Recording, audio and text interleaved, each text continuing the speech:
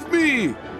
A quick-thinking shunter did, just in time. Suddenly, Toad saw some buffers. Those'll stop me! But Toad couldn't stop.